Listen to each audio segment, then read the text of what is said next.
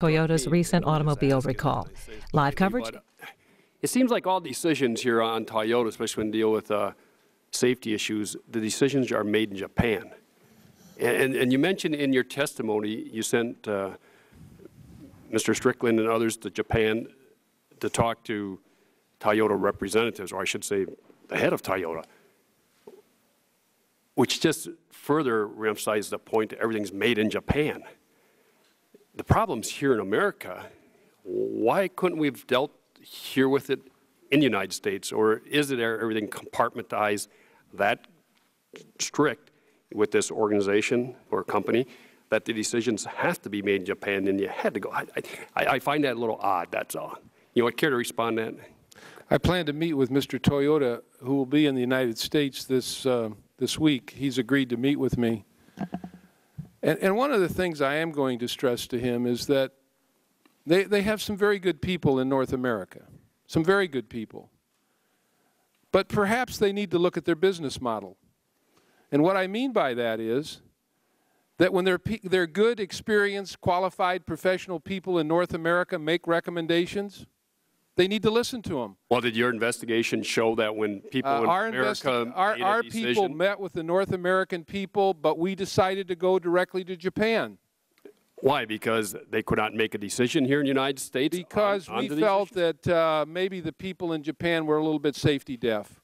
And we wanted, to, we wanted to give them an opportunity to hear directly from us that this is serious. And when I talked to Mr. Toyota, I said three things. The first thing I said is, this is a very serious matter for your company in America. I want you to know that DOT is taking it seriously, and we are not going to sleep until every one of your cars is safe for Americans to drive. And then I invited him to come to America. Well, I called you after those articles yes. appeared, and I, we never had a chance to talk, but I thought you did, you've been proactive in trying to get out in front of this. One of the concerns I have and has come out that 70% of this sudden unintended acceleration, we still don't have an answer for. In fact, I think uh, according to all the documents from NHTSA and also from Toyota, their database, that's only 16% of these sudden accelerations are really addressed with the floor mat and the st sticky yellow uh, accelerator, if you will. Any, the electronics seems to have to have some part of it on this remaining 70 percent. Do we have any, are we any further Yes, I mean, we're going to, as I said in my testimony, we are going to do a complete review of the electronics. We will meet with the folks from Southern Illinois University, take a look at the results of what they've had to, to look at. We'll look at what uh, the Toyota folks have done with the people that they've hired. Uh, we're going to get into this. We're going to get into the weeds on the electronics. We feel an obligation to do that because we get 30,000 complaints a year, and we take every one seriously. We don't just set them off to the side. We look at every one, and when we see a few start to stack up, then we really get into it. We are going to get into the weeds on the electronics. I, I commit to you we're going to do that. How about this event data recorder? Uh, which records information five seconds before an accident, one after. Well, we're look, we, we have a review of that going on right now. But, but it says your NHTSA investigators have been at some of these accident sites, like the uh, Southlake, Texas one on January 12, 2010, they were there.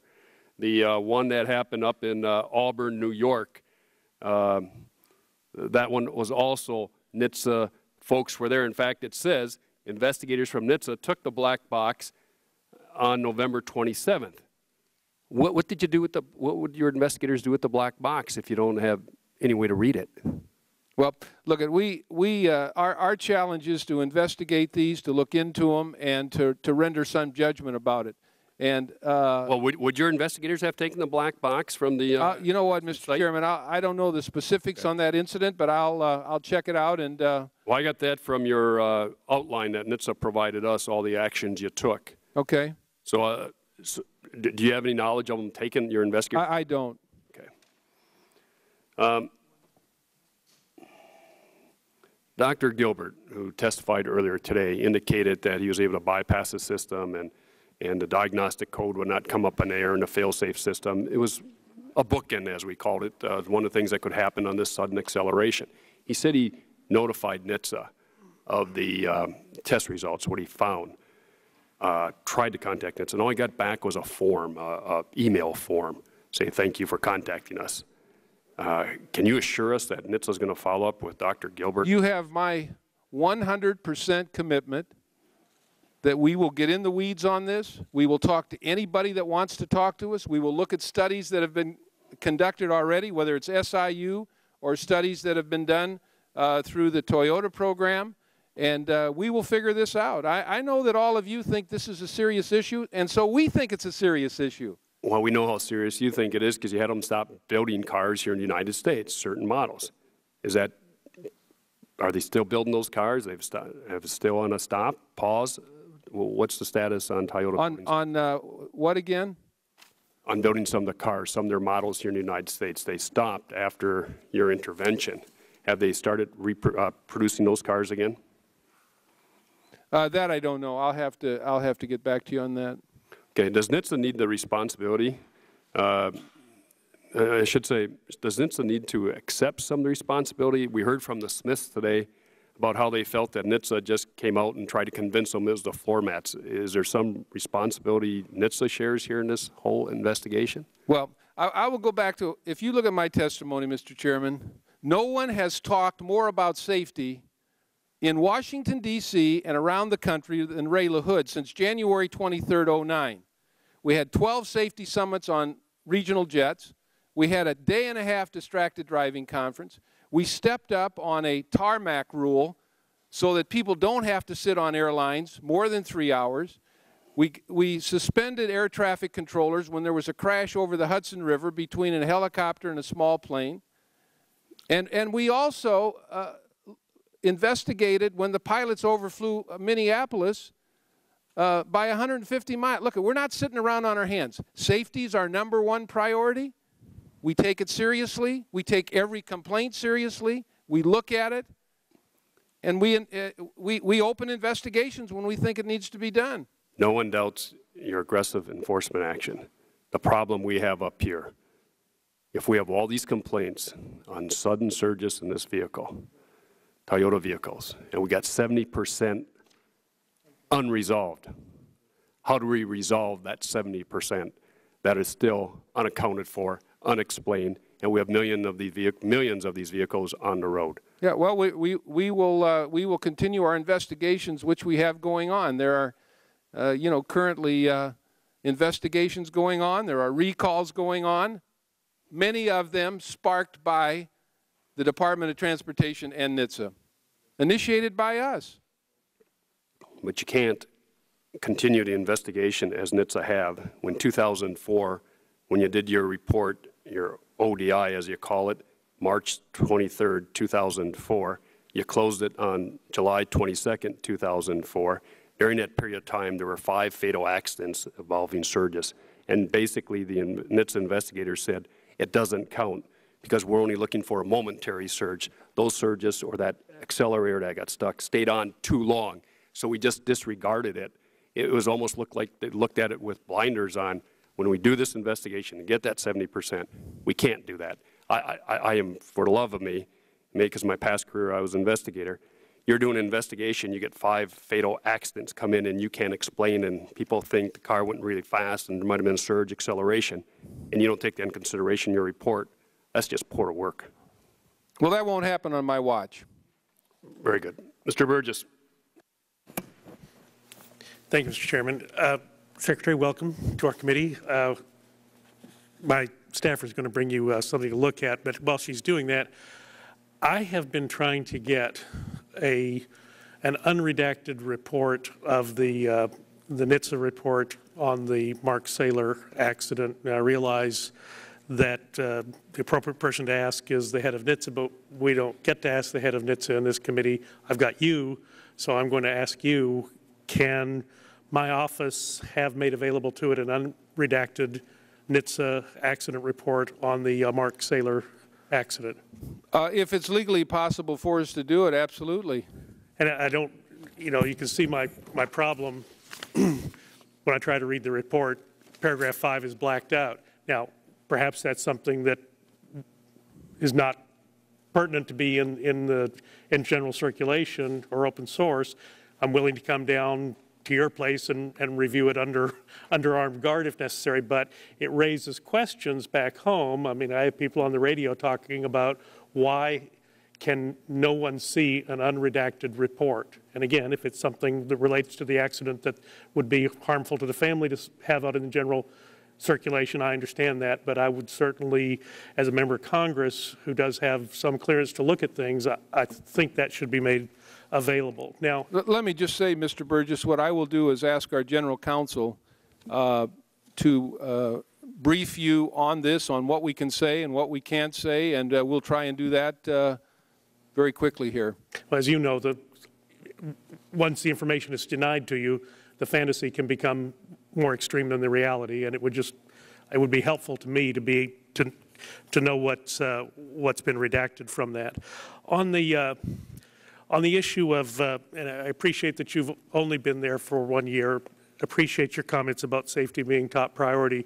Sari brought to you a, a graph showing the uh, um, uncommanded accelerations in the Camry vehicle, I believe, and I believe this is a NHTSA-produced document, and clearly, uh, you know, without getting into great detail there, there was, there was a change about 2001 or 2002 where the number of incidents were very low and then suddenly it goes high and stays high. My understanding from Mr. Lentz's testimony is that coincided with the, the time that the electronic throttle control became uh, marketed on those automobiles. And I would just ask the question, you know, what should that should there have not been some curiosity at some point as to why this is happening now at a level previously unprecedented?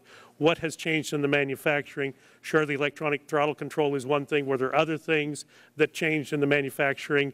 Uh, if safety is going to be job one, it can't take us that long to investigate these things, and it certainly can't take a very dramatic and tragic accident to, to spark the in, investigation. So the only point I would make from that, again, and it's a NHTSA-produced document, and I realize that there is, uh, the personnel does change from time to time, uh, but we have to keep that, uh, obviously that has to be, uh, that has to be foremost in our minds.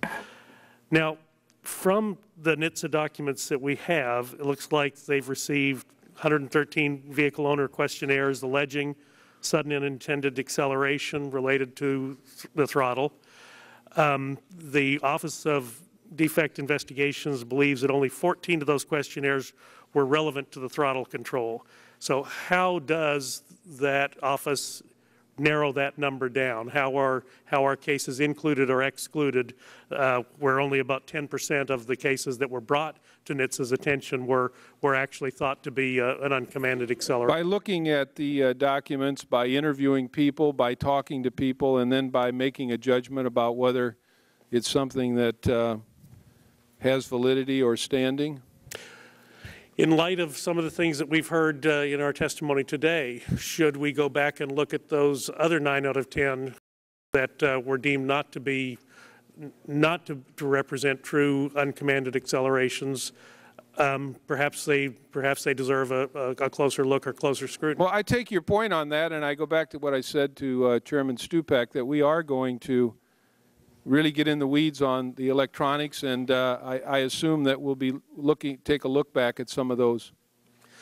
On, uh, I guess just very recently, within the last day or two, your Inspector General from the Department of Transportation announced uh, an audit initiated on NHTSA's Office of Defect Investigations.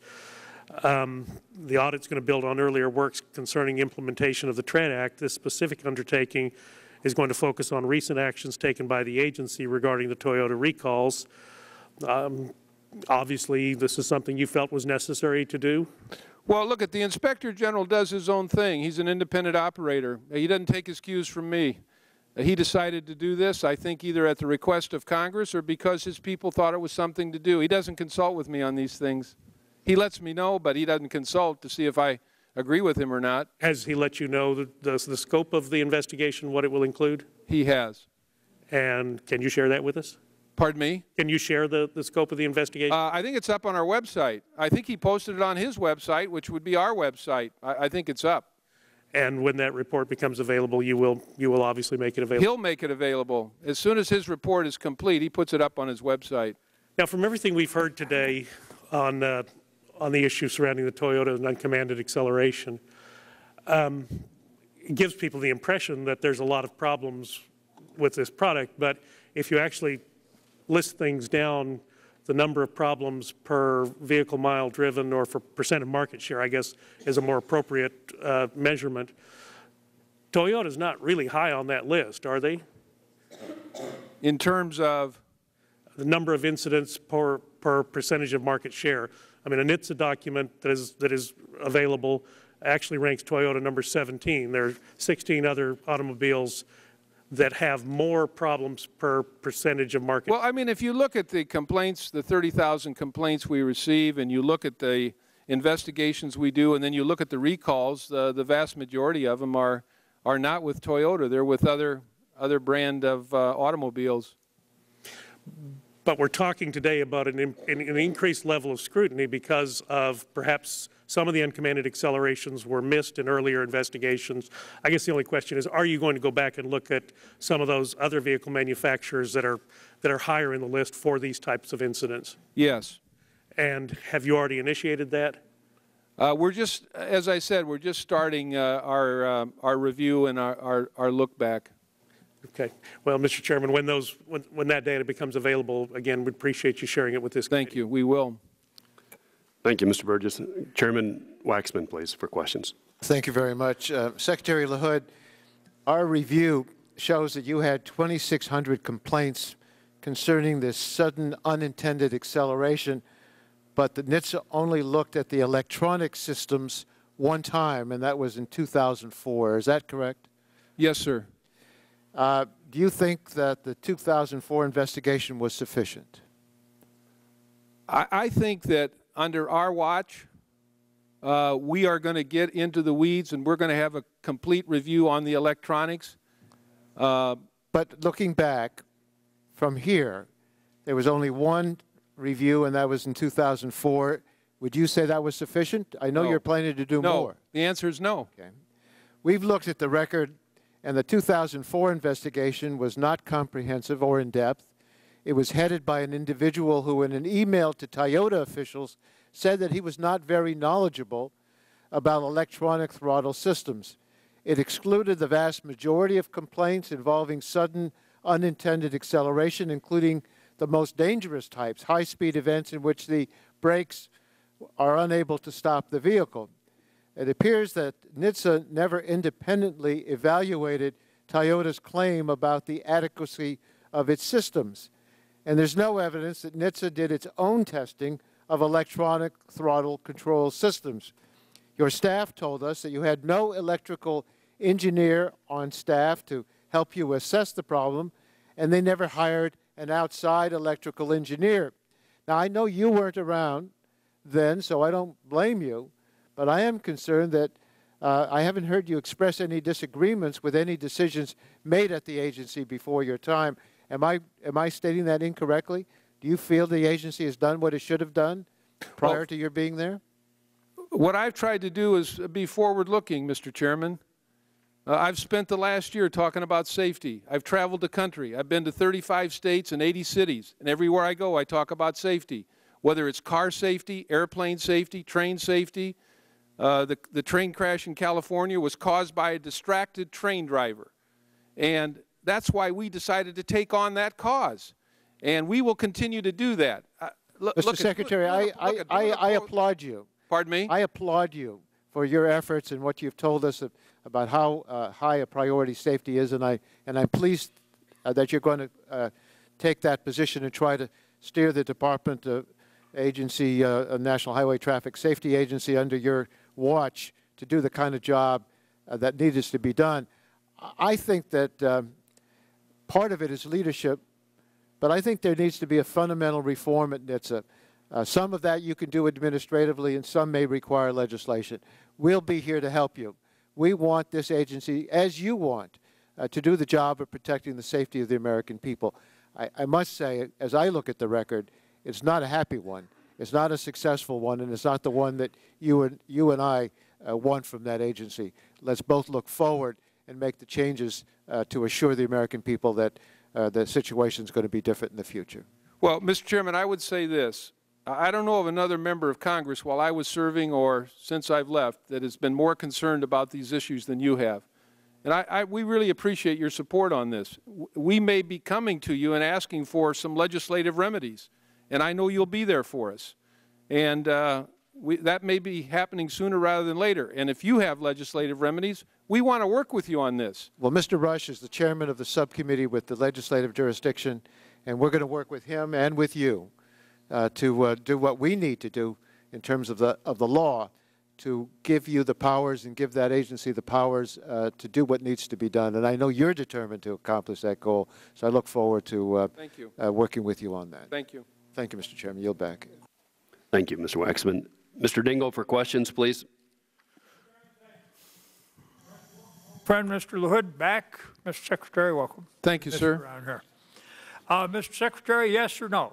To your knowledge, has Toyota completed, complied with its statutory and regulatory obligations, whether mandated under the TREAD Act or otherwise, in conducting its 2009 and 2010 recalls related to sudden unintended acceleration? Uh, I'd, I'd rather get back to you on the record if I could, sir. All right. Uh, If you'll submit us a proper response at a time later. Mr. Secretary, if Toyota has not complied with its statutory and regulatory obligations related to these recalls, uh, will you please submit for the record a description of how and what punitive action the Department of Transportation has result, has taken as a result of this noncompliance? Yes, sir. Now, Mr. Secretary, uh, since 2001, how many reports of sudden unintended acceleration has the Department of Transportation received from Toyota Motor Sales USA, Inc.? Would you please submit a list and a description of each and every one of these reports for the record? Yes, sir. Have you, do you know whether you have received all of these or not? Uh, I, I'll submit that for the record.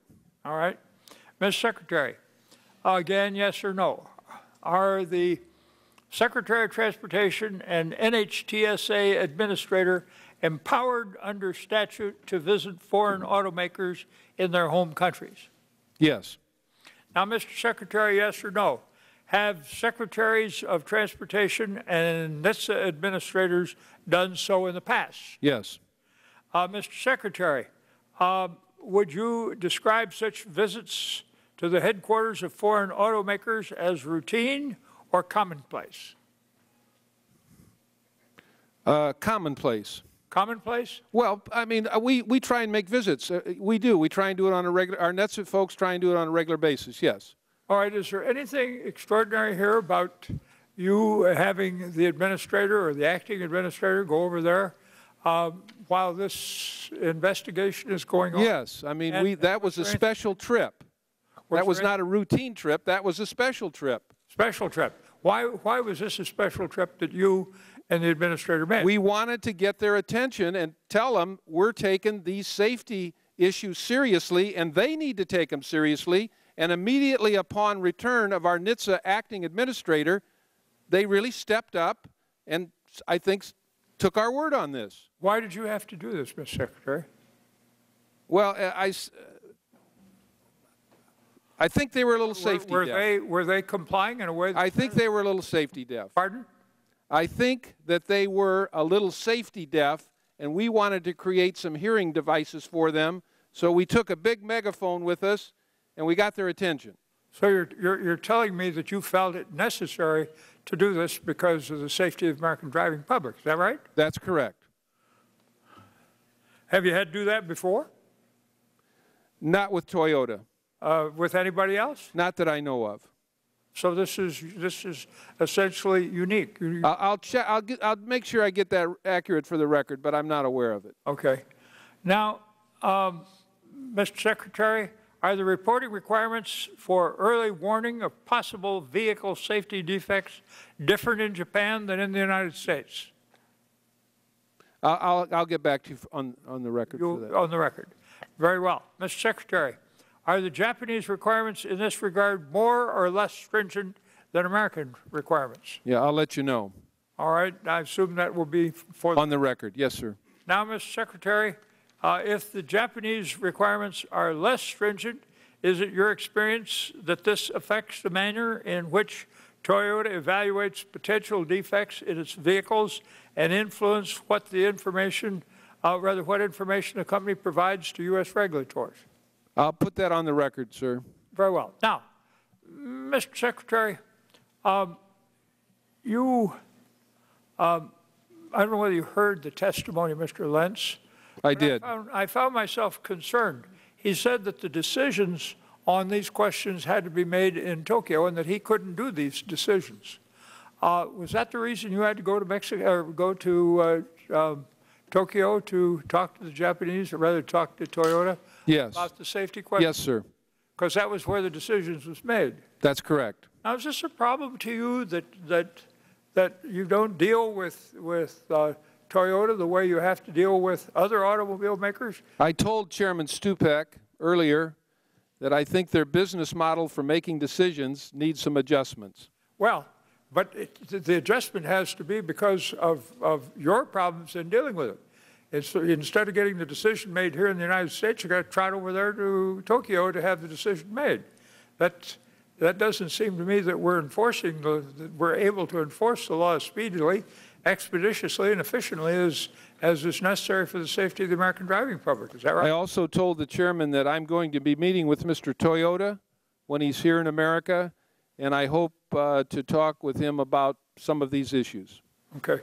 Now, I've, uh, the governors of four states sent a letter that I find most distressing, because if this government is, is, is, is going to use uh, ownership in automobiles to confer benefits or disadvantage on anybody, I want to know about it.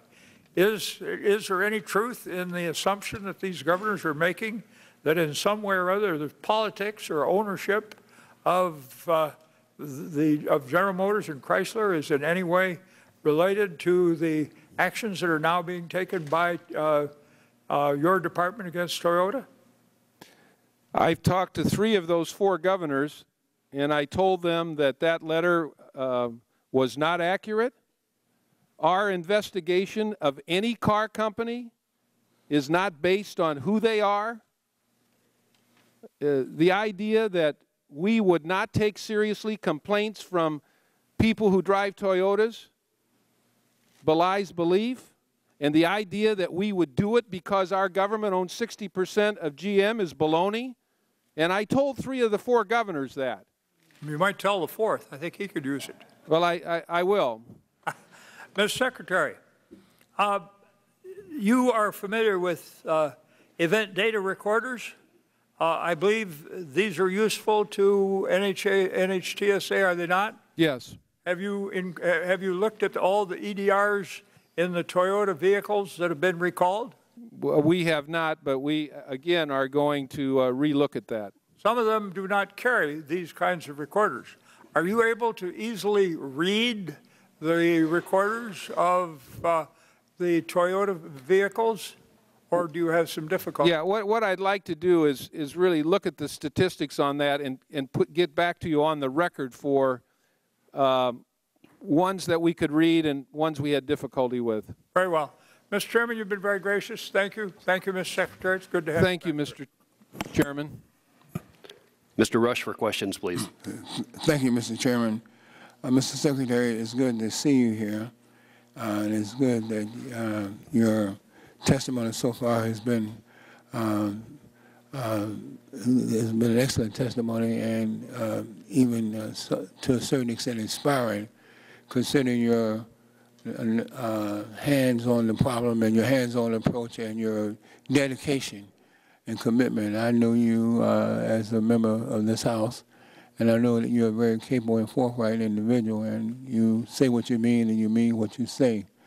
Um, and I am also uh, encouraged by the, uh, I think it's the um, confirmation of uh, Mr. David Strickland as the head of NHTSA. Uh, but that said, I uh, do have some concerns and I have some questions that I want to ask you. First of all, earlier today, I want to get this out of the way. I received an email from uh, one of my staff members who uh, uh, sent, who received an email in kind from uh, one of the uh, executives at the Chicago Defender. You are aware of that newspaper, the Chicago Defender. And they indicated that uh, this person indicated that his sister-in-law had been killed on December the 28th uh, in a Toyota Avalon somewhere near Dallas, Texas. There were three individuals in the car, uh, and uh, all four of them were killed. Uh, the car flipped over and rested in a pond. Um, and the police, uh, according to him, said that this had nothing. This was uh, that this wasn't a result of a braking issue. So it, it means that something was wrong uh, electronically for my if it wasn't a braking issue. So my question and my request is that you look into that. I will get you all the pertinent information that I have and that I can gather and get you that. And I we will uh, we will look at it. We'll get the information from you and we'll look at it. Well, okay, that's it. Um, Toyota consumers have witnessed a significant decline in their resale values. Uh, and that means that there is a possibility and a probability uh, that um, Toyota consumers, the owners of these vehicles, will uh, experience a sharp increase in their insurance premiums uh, for owning these vehicles. Are you concerned about that? Uh, I, I, haven't heard about that, no. Uh, well, if in fact that does become a reality, especially in this time of economic hardship, I think that we should be uh, proactive in trying to uh, uh, offset that in some kind of way. Okay. Right. Uh, the members of this committee raised several areas of concern with regard to NHTSA's response to uh, certain uh, unintended acceleration and that could be explained by resource constraints within the agency.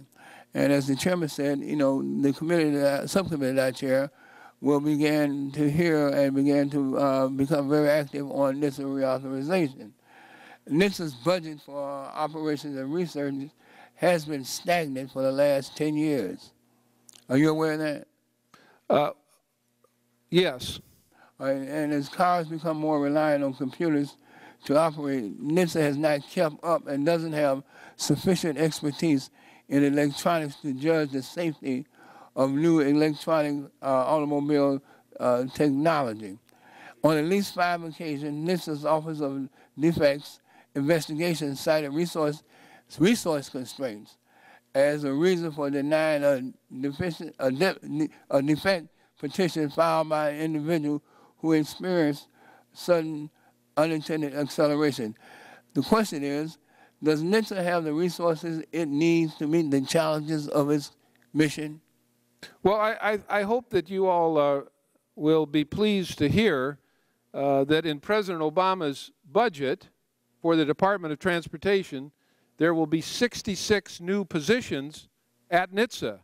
That's what the President is proposing. We have 125 engineers, and some of them are electrical engineers the idea that we don't have the experts to do the work is not quite accurate. We do have electrical engineers. We have 125 engineers, and the President has requested in his budget request to all of you 66 new positions at NHTSA.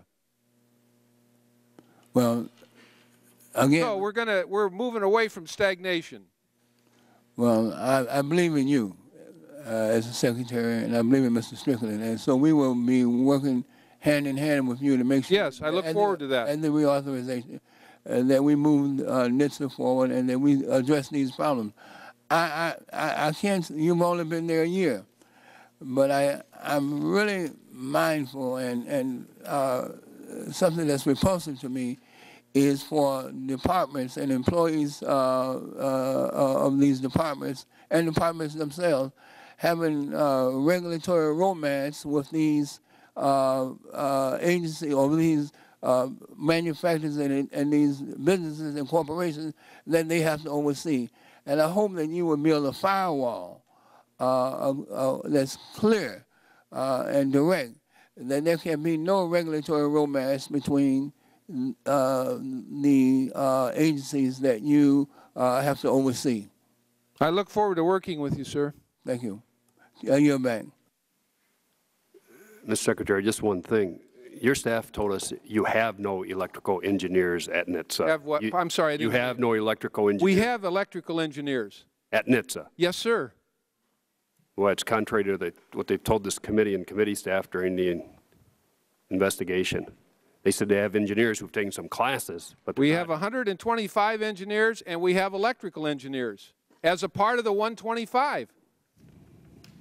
I'm sworn to tell the truth here, Mr. Chairman. I know, and that's why I'm. I wouldn't be lying about bring it up. engineers, I'll tell you that. If I'm going to lie about something, it's not going to be about engineers. Are, are any of these electrical engineers in the Office of Defect Investigations in? They, they work for NHTSA, and their Right. responsibility are to use their expertise in this area. So ODI, Office of Defect Investigation, can tap other parts of NHTSA. That's correct. They, we use their expertise for this. Well, that's amazing. The staff didn't know you had all that expertise a week ago. Uh, Mr. Markey for questions. Thank you, Mr. Chairman, very much. Um, And welcome back, Ray, Thank you, sir. and uh, thank you for your work at the Thank you. Transportation. Um, You know, the impression that uh, I think we've all been left with here today is that uh, Toyota was aggregating all this information in Tokyo, but they weren't sharing it with, uh, uh, with uh, their dealers, their employees, uh, the people that ran different countries. Okay, and uh, and so we're we're at a uh, inflection point here, where obviously we have to change the system. We have to give you more power, um, and uh, we have to just make sure that this does not occur in the future. So I'd just like to walk through a few things and maybe get your response to that, Okay. because I think it will help us to flesh out the the authorities you'll need and the and the things that um, we have to put in place to make sure we don't see a recurrence. So it turns out that Toyota recalled a Lexus in the UK in 2000 because of a floor mat problem that was identical to that involved in the more recent recalls here in the United States.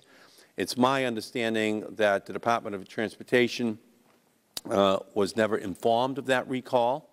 In 2003, the department turned down a consumer protection uh, petition filed by an individual from Braintree, Massachusetts, alleging sudden acceleration problems involving his 99 Lexus, saying the department had no reason to think there were excessive problems with Lexus based on what it knew at the time. It wasn't getting the information from Toyota. So, you know, it was not in a situation to see the entire uh, situation. Um, Do you think the department might have reached a different conclusion had it known about the 2000 UK Lexus recall involving, involving the floor mats entrapping uh, accelerator pedals? Well, I'd only be venturing a guess, uh, Mr. Markey. I, I would assume that we would have, but um, that's a guess. Uh, The law doesn't require automakers to report on foreign safety problems that it might have had that do not result uh, in an actual recall. But we've learned recently that one of Toyota's tactics when dealing with safety regulators is to use lobbyists uh, to try to limit the scope of recalls or to prevent them from occurring at all. Um, Do you think that requiring automakers to more broadly report safety problems uh, that they have encountered in other countries could help you do your job? Yes. Uh, During today's hearing, Toyota claimed to be just beginning to examine the possibility that there are problems with its uh, vehicles' electronics, while an outside academic said he proved that real-world circumstances existed under which the software that is supposed to automatically turn cars off if the throttle electronics fail does not work. Uh, We've also learned that Toyota had evidently validated that result. Uh, Do you think it would, uh, it would be inaccurate to assert that Toyota has identified and proposed remedies for all of the sudden acceleration problems that have been documented for its vehicles? Well, look, at, we're, we're going to uh, do a complete, comprehensive, down-in-the-weeds review of the electronics. We'll take information that was presented to your committee today. We'll look at all the data. We'll look at all the information. We will not rest until we fi finally find out if electronics are a part of this problem. Can I, can I ask, do you think that you need expanded authority to enable you to more easily conduct mandatory recalls? Do you need more authority? No, sir. Really? Not really. No, I mean, we do these investigations. We meet with uh, auto companies, and uh, if they're not willing to do the recall voluntarily, we have the authority to do it. Okay. Um, And, uh, but you need the information. We, we have to have the information. And, and, and if we've missed the target on the electronics, we will correct that. We're going to do that. We're going to have a complete review. The early warning database um, that uh, consists of reports provided by auto manufacturers to the department, and these reports are generally kept secret unless the department opens up uh, an investigation. Um, What do you think about the public in terms of them providing, being provided with more information regarding potential safety defects that automakers tell the department about even before an investigation is opened or a recall is announced? We're for transparency. The more information we can give the public, the better.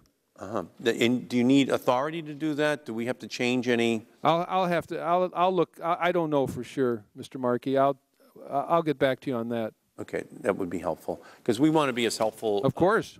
We want to be as helpful to you as we can be. We think that, you know, you're clearly, uh, in my opinion, a great Secretary of Transportation. So Thank you. We want to work with you to. Thank you. uh, Accomplish, you know. I appreciate that. While you're Thank there at you. the agency. Thank you. Thank you, Mr. Chairman. Uh, Ms. DeGette for questions, please. Thank you very much, Mr. Chairman, and I'll add my welcome, Mr. Thank you. Secretary, and- and associate myself with Mr. Markey's last remarks, maybe not his first, no, I'm, all of his remarks. Um, I I just have a couple questions for you. The first one, um, I I think I know the answer to this. The New York Times has reported that NHTSA officials were frustrated with Toyota's slow response while conducting its investigation into acceleration issues. From your previous testimony today, I would assume that you agree with that assessment that Toyota was often slow to re- respond to requests from your agency, as far as you know.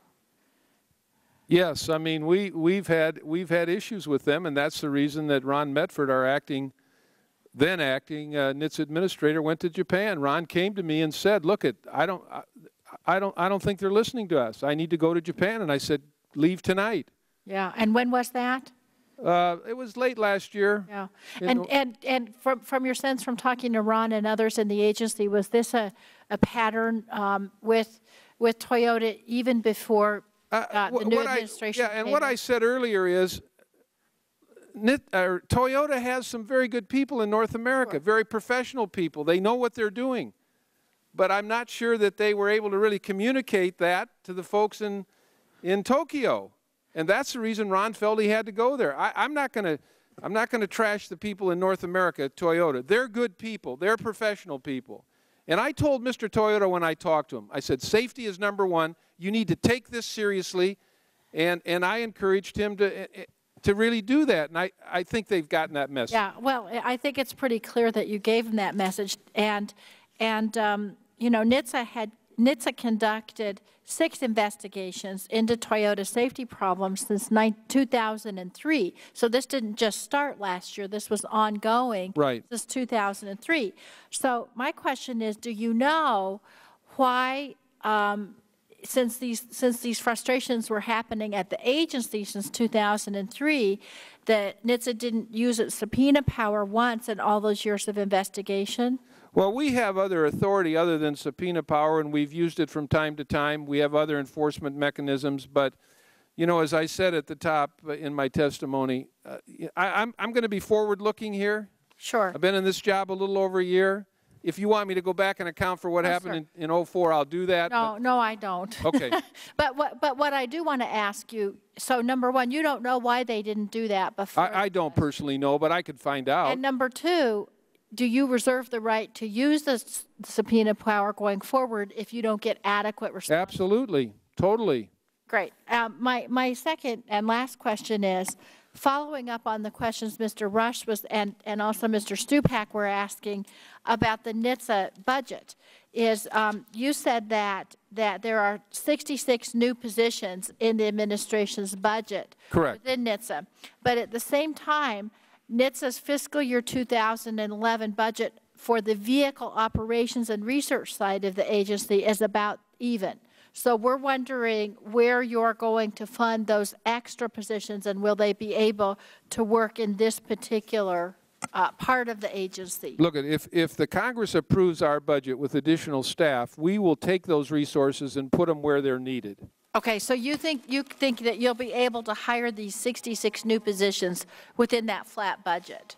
I think we'll be able to use, if, if we get 66 new positions and you provide the money for it, we'll take those people and put them where they're needed. If they're needed on looking into electronics, we'll do that. If they're needed in other areas, we'll do that. We're gonna- Okay, but, s- but, so your view is that the 66 new people aren't necessarily looking into electronics, they're just, They're going to be, a- they're going to be a human resource that we're going to use where we need them, where the problems are. okay. So when you, when, so let's say you do need them in electronics, because it seems like from past years, again, not speaking about the last year when you've been secretary, but from past years, this has been a deficiency in the agency. If you put them over there, where, where are you going to take it from in the agency's current enforcement? Well, I don't know the specifics on that, but, and I'd be happy to get back to you. Um, We'll keep our fingers crossed that you provide us the additional 66. See, see, I'll just, I'll just tell you, Mr. Secretary, what we're concerned about, not just with NHTSA, but a lot of the other consumer agencies, is over the last eight to 10 years, these agencies have been starved of resources. And we're concerned that if you take 66 new positions, which might be authorized, but if there's no additional funding for the agency, that we're going to stint on other places where we're all, we're all, where we're already short on enforcement. Yeah, no, look, at I would assume if we get the authorization, we're going to get the money to pay for them. I mean, that, that would be our goal. Okay, s- that, and that would be in addition to your fiscal 2011 budget? Our 2011 budget would be the 66 additional people plus the money to pay for them. Okay, because the request we know about is pretty much flat. I, I, our goal will be to, Your Our sta- your goal will be- have some advice. yeah, let me just see what it says here.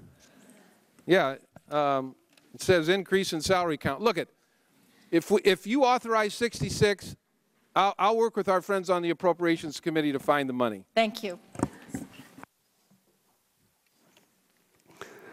Uh, Ms. Christensen for questions, please.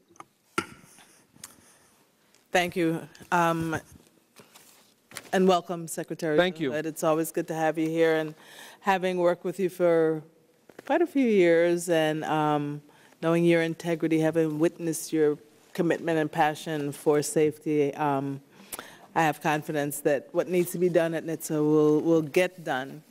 I probably, some of the questions about what authorities you need have already been asked, and um, so let me just ask this one, one question. After the Firestone Ford Explorer rollover problem, I read that Congress uh, introduced and passed a TREAD Act, which required NHTSA to create an early warning system to gather and analyze more information on auto safety to eliminate defects sooner. In a 2004 report, and I realize this is before you came, but in that report from the Department of Transportation, um, Inspector General, it was stated that the cost estimates for the project were way above what had been anticipated, and that the computer system that existed at that time did not have the advanced analytical capabilities that were envisioned by the law. So it didn't have the money, but they didn't have the capability of creating that early, having that early warning system to gather and analyze the information. Do you know if that problem has been corrected since the Inspector General reported that in 2004? It has been, and I can tell you this, I mean, when we got into this uh, Toyota thing, I, I, I've been going over this and going over this. I think we have some outstanding people. Uh, They work very hard. We get 30,000 complaints a year. We look at what other uh, organizations are saying and doing. We talk to car companies, and we take every one seriously. We don't set any aside, And when we really see a, a curve and see something that really catches us, we begin to look at that very carefully. And so I think we have a good system in place. Uh, hopefully we get a few more resources in terms of people. But I think the system works very well. If somebody has a complaint, we take it seriously. If it's an individual driver or, or a, a company or an organization, and uh, we, we just, we, and, and our people look at every one. Thank you, Mrs. Secretary. Um, I yield back at time. Thank you. Ms. Sutton for questions, please. Thank you, Mr. Chairman, and thank you, Mr. Thank you. Secretary, for being here and uh, for your work um, at the department. Uh, a couple of, of, of, things. The, the black boxes that we've heard about, um, I'm just trying to get clarification on that. Does NHTSA have access to the data that was contained in black boxes that might, you know, might have been, um, might be in, in uh, Tokyo? I mean, as I understand it, Toyota has access to this information, but can we access it? You know, I don't know the answer to that. Does, do any of you know the answer to that? They have only one tool that can be able to read EDRs in the country. It's very difficult for NHTSA to get the information. Okay, so it's very difficult for us. They only have one reader to read these devices, and it's very difficult to get the information. Okay, so finding ways to get information that is relevant to us enforcing safety, uh, you know, concerns here is, is something that we should be looking It is, and I do think that all of this has been a big wake-up call for Toyota. I think you'll find that when Mr. Toyota comes on Capitol Hill tomorrow, when he makes some visits to some folks. I mean, I, I think they, they get it now. Uh, they, they need to be more attuned and sensitive to these things. Thank you, Mr. Secretary. Um, and also, just uh, because we have the opportunity to make sure the record's clear here on certain things, um, I reviewed the, uh, the report issued by NHTSA on the CARS program. Um, was happy to see that positive jobs impact of at least 60,000 jobs. Um, but I also want to make sure that people understand, because I think there's been some effort to confuse the record about uh, the way that we've talked a lot about resources and what you need to do to accomplish the safety functions that uh, fall within NHTSA's responsibility. And we want to make sure that you always have uh, what you need. And if you need more than you have now, we want to make sure you've got it. But just to clarify, uh, it's my understanding that at NHTSA, I mean, which also, of course, has responsibility over fuel economy standards, which is why Cash for Clunkers was also part of NHTSA's uh, purview, um, that the people who deal with fuel economy and the people who deal with the safety functions under NHTSA are two different sets of people. Is that correct? It is correct, but I, I will say this, uh, Congresswoman, and, and, you know this, in the first four days of that program, which was uh, your stepchild or child or however you want to characterize it, it was your idea. It was ours. Um, 250,000 cars were sold. Yeah. It was a wildly popular program. And I'm not going to sit here and tell you we weren't overwhelmed. Yeah. When you sell 250,000 cars and try and get the money out the door to dealers, it became a very serious issue for us. Mm -hmm. And we, we were trying to incorporate a lot of resources, including our FAA friends out in Oklahoma City who do a lot of good work, but they also know how to process paper. We use their expertise. We hired people from the outside to come in. But I, I want people to know there never for one instant was safety ever compromised as a result of the CARS program. Not for one second. I wouldn't let that happen. And, and Mr. Uh, uh, Secretary, the, the other issue, of course, is that I wouldn't let that happen either. And the reality is that we, um, we put $50 million in administrative costs into the legislation. Right. So that we actually gave resources that's when correct. we gave work That's correct. to NHTSA. That's and correct. That, uh, that is an extraordinarily, I think, important point It is. not to be lost um, because it's easily swept uh, under the, the rug by, by those who might want to discredit what was clearly, as you point out, um, wildly popular. It was a lifeline to the automobile industry. Uh, no, no, no one could have ever sold seven or 800,000 cars in less than 30 days.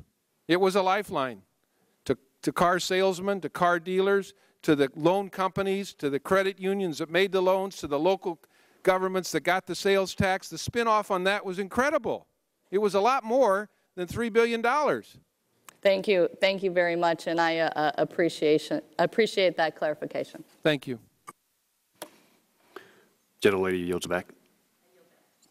Ms. Schakowsky, for- Schakowsky, excuse me, Schakowsky for questions, please. Hi, Ray. Thank you for, uh, for, for being here and answering uh, all our questions. Thank you. And waiting, to being here at this late, late hour.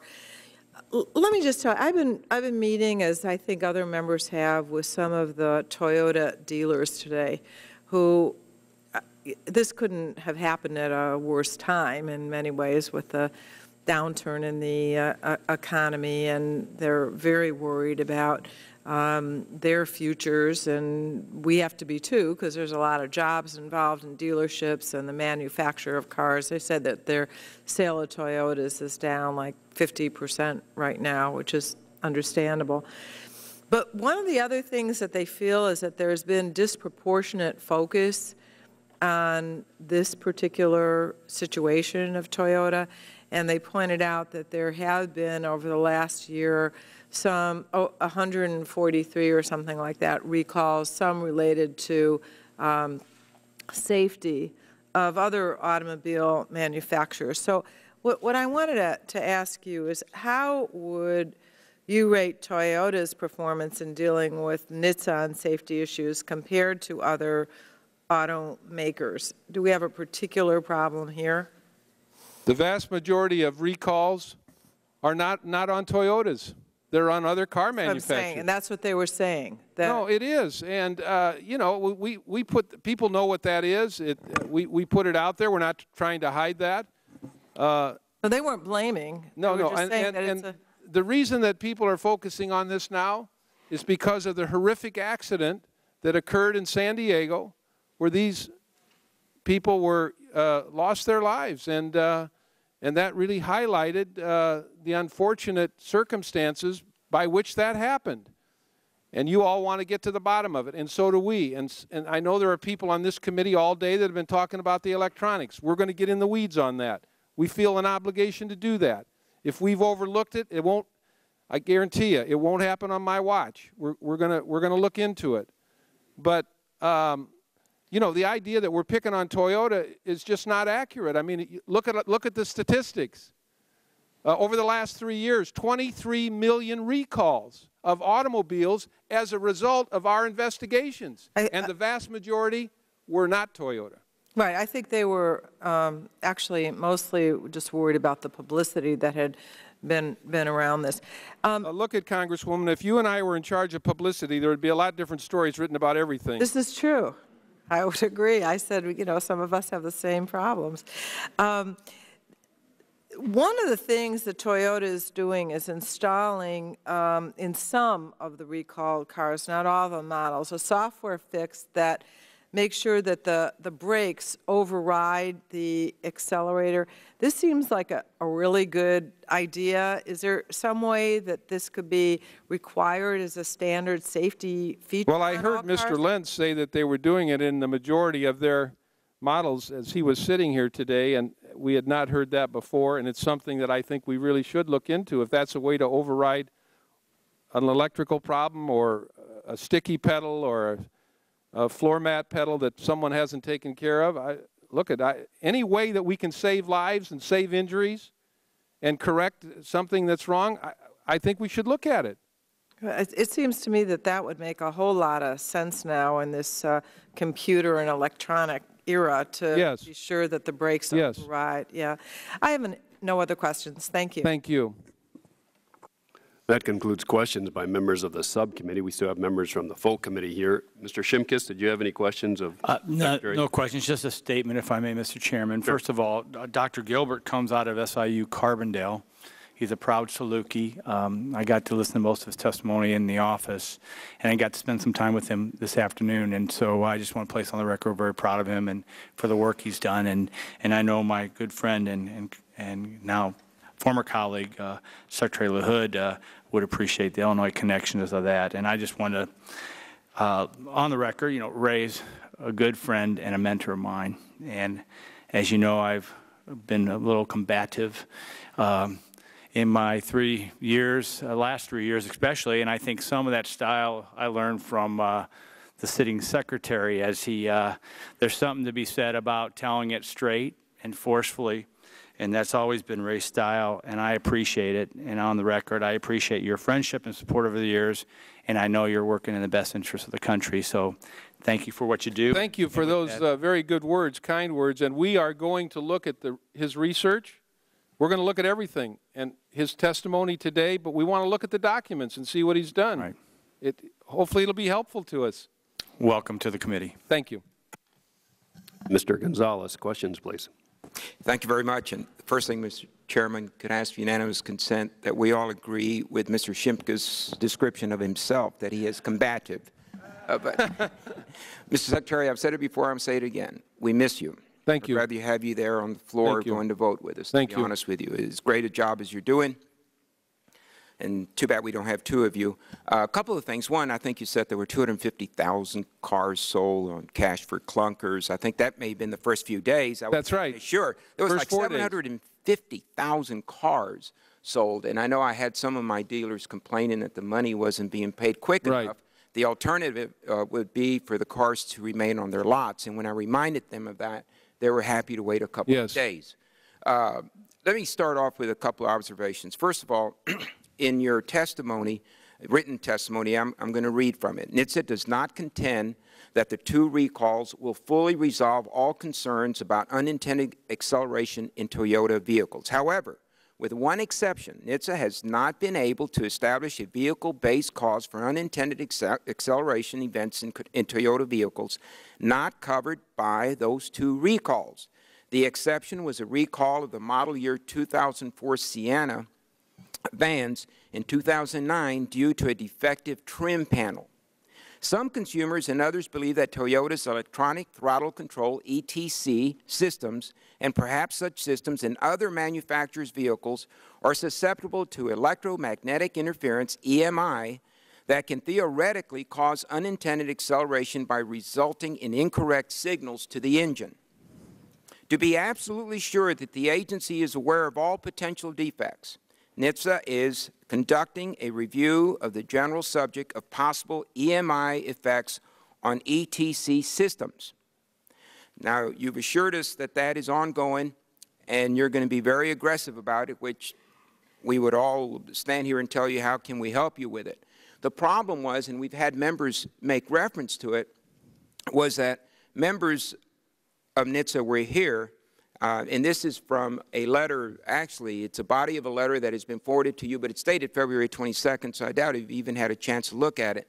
As the agency responsible for ensuring that the vehicles on the road are safe, it is essential that NHTSA have ample expertise to test and analyze electronic systems and to evaluate the sufficiency of tests and, and the analysis of the automobile and automaker's performance. It appears, however, that NHTSA lacks its expertise, hampering the ability of its Office of Defects Investigation, ODI, to examine possible electronic defects in vehicles. In the briefing on February 18th, NHTSA officials told the committee staff that the agency has no electrical engineers or software engineers on staff. Now, that is not accurate. Is that correct? We have, we have uh, two electrical engineers. All right. We have 125 engineers. We have two electrical engineers, and we're about ready to hire another one.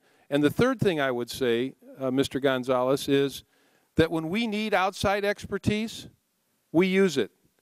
We do. I mean, we're not bashful about doing it. Uh, be, I mean, if we don't feel we have the, the expertise, we'll we'll go out and find it. And I think that's an important point. And the reason for that, we've been talking about maybe expanding your authority, and I don't think you're going to be bashful about coming here and saying, legislatively speaking, you need a fix. But we also want to be very receptive to the expanded resources that you may require. And there's not going to be anybody on either side of this aisle that's not going to give you whatever you need to, to get to the bottom of this. It is good to see you here and to receive the assurance that you're aggressively pursuing this. I will end with one question. Is Toyota cooperating with your department? 100% now. Thank you very much. I yield back. 100% now, they weren't always cooperating with you?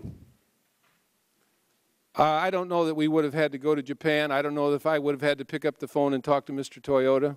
Okay. Let me ask you this, uh, Mr. Secretary. You indicated that you could always NHTSA can get outside experts if they need help in an area. Do you know the last time ODI, Office of Defective Investigations, ever hired outside experts to help them with a problem? I do not. Okay. But I'll, I'll put that on the record for you. I, I can find out. Okay, we would appreciate it. Mr. Burgess, question? Yes, Mr. Secretary, just, I'm sure you heard the testimony, the compelling testimony to the Smiths who were here earlier. Of course. The, uh, the uncommanded acceleration in her vehicle. Um, They voiced a lot of frustration over getting anyone at Toyota to, to take them seriously or listen to their problems, but they also voiced some frustration in getting the National Highway Traffic Safety Administration to, to listen to them and take them seriously.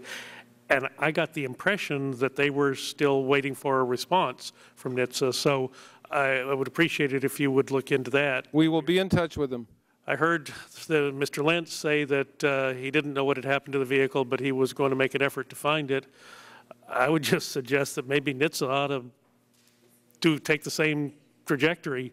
I, I think you would be very interested to know if some of the things that Professor Gilbert brought up today actually can exist in a real-world situation, and if that car was the laboratory that created that, thank goodness no one died in the experiment, but let's get that data and, and find out if indeed that's uh, what Professor Gilbert produced in the laboratory was what Mrs. Smith encountered when she drove her car on the freeway that day. Well, we know where the car is. We've talked to the owner of the car, and uh, we, we hope to be able to uh, uh, explore that.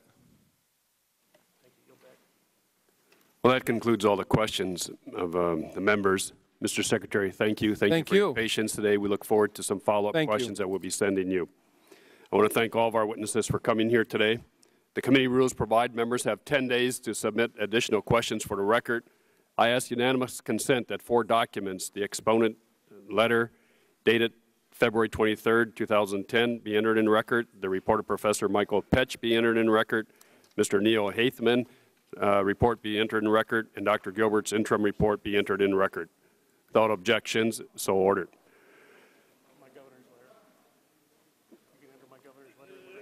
Uh, Mr. Burgess asked that uh, Governor Perry's letter to the committee uh, be entered in record. Without objection, so be it.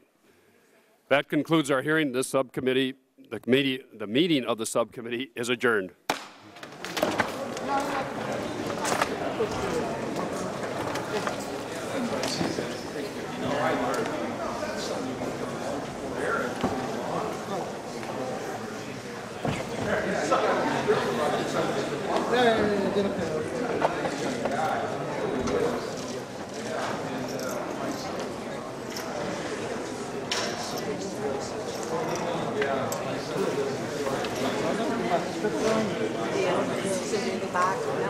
Me call